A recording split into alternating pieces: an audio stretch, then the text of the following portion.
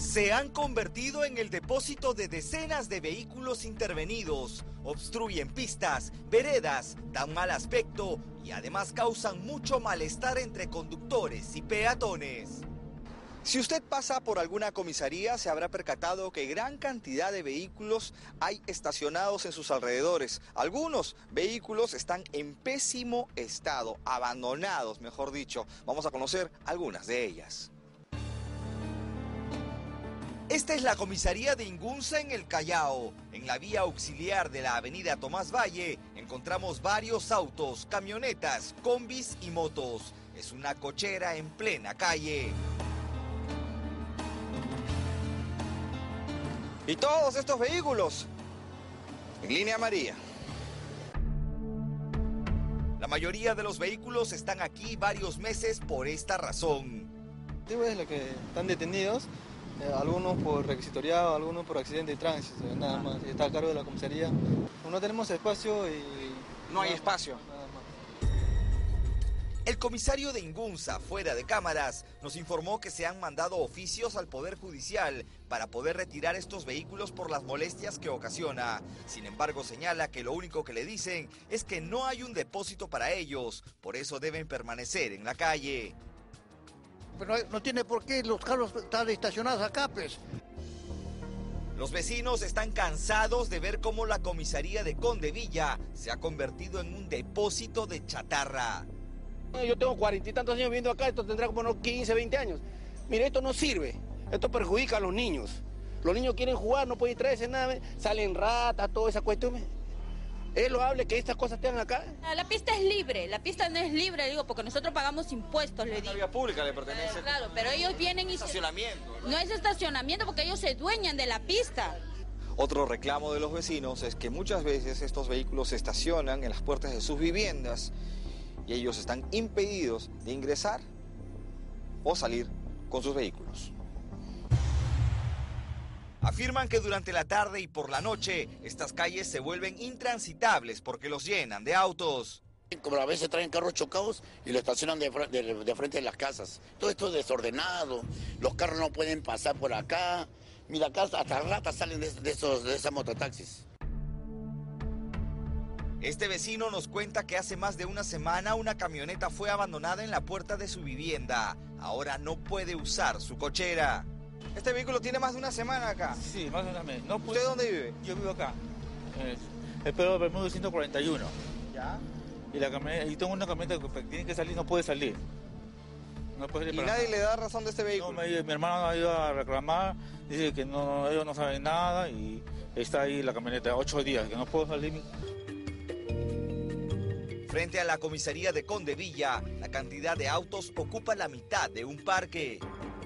En esta comisaría, lo primero que podemos ver aquí es chatarra, porque esto es completamente inservible. Miren esta camioneta lo que lleva, una mototaxi completamente destruida, un vehículo, incluso las ramas están sobre él, mototaxis viejas, todo lo que encontramos aquí en la comisaría de Condevilla. Quisiera conversar con el comisario, por favor. Sí, justamente yo tengo una reunión con el comando sí. O algún responsable. Lo que pasa es que necesito que me den una explicación de todo el depósito de autos que se encuentra aquí.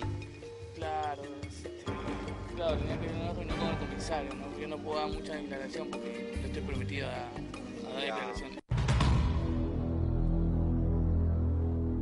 Estos vehículos fueron intervenidos por la policía hace días, semanas e incluso meses. Sin embargo, se encuentran abandonados en este improvisado depósito. ¿Hace cuánto tiempo están acá? Ya, estoy hablando de más de un año, ocho meses. ¿Y no los remolcan, no los retiran? No, nada. Y estos carros, mira, a veces vienen gente de mal vivir, se meten ahí a descansar, ahí toman su ¿Y bebida. son de acá de la comisaría? Claro, lo han dejado en este lado. Vehículos como este hemos encontrado por lo menos unos 15 aquí en los alrededores de la comisaría de Breña. Veamos qué nos dice la policía. El 19 de mayo. 19 de mayo. ¿Te das cuenta jugador, el juego que se queda ahí porque no tiene, no, no tiene creo cómo se llama lo que es este, este ¿cómo se llama esto? que permanezca ahí. Permanezca ahí. ¿En la vía pública? no tienen ellos creo cómo se llama su almacenamiento, su almacén, donde... No hay un depósito. No hay depósito. hay depósito, pero dice que está ocupado. Este Volkswagen, por ejemplo Con las llantas bajas. Miren. El 19 de junio. Este, y por estar conducido de ebriedad. Ya han conocido con Se tiene que quedar acá. Tiene que hasta que venga el dueño. Pero ¿qué pasa con los autos mal estacionados? Por ejemplo, aquí nadie tiene cómo cruzar porque este señor ha colocado su vehículo no estacionado. Es la placa B5T605. Por favor, nosotros vamos a contribuir para que esta persona sea sancionada, ya que no le interesa que las personas crucen por este lugar. Están mal estacionados, ¿no? Porque no se puede estacionar así dos vehículos. Que algunos carros vienen a hacer trámite, comisaría, o también acá están policiales, están con todo ¿Se trámite. permite que estacionen así? No, no, no. Ahí se viene acá, pe. Lo que el policía que está acá, el servicio está acá, está muy, muy no, alejado. no ameritan una multa. Claro, tiene que coordinar con... Habría que multarlos, ¿no? Porque están mal estacionados. Sí, pues ahora falta que sea de uno de los policías. Fuimos a preguntar a los policías. Son de los vecinos, serán de quién serán, pero no sabemos. De los vecinos son. Entonces habría que multarlos, pues, ¿no? ¿Dónde estacionan ustedes mismos sus vehículos?